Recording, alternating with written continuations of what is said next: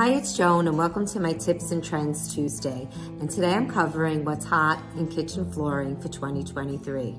We all know that our kitchen is the most trafficked room in the house, so we want something that's aesthetically pleasing, but we also want something that's durable. So I put together a collection of some beautiful things for you to see.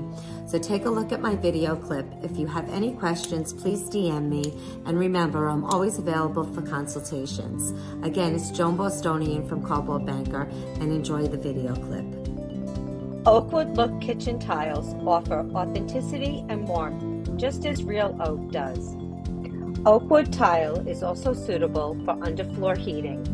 Underfloor heating is an increasingly popular asset to have in the home. One special kitchen floor trend for 2023 has to be herringbone and chevron tile formats.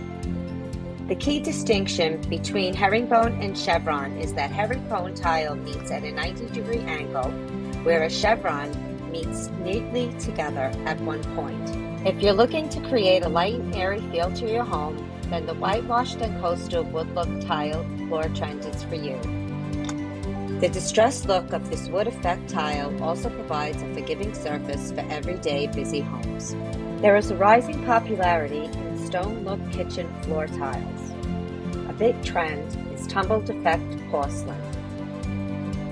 Together with the character and variation from tile to tile, this soft tumbling effect lends itself beautifully to rustic and modern country-style kitchens.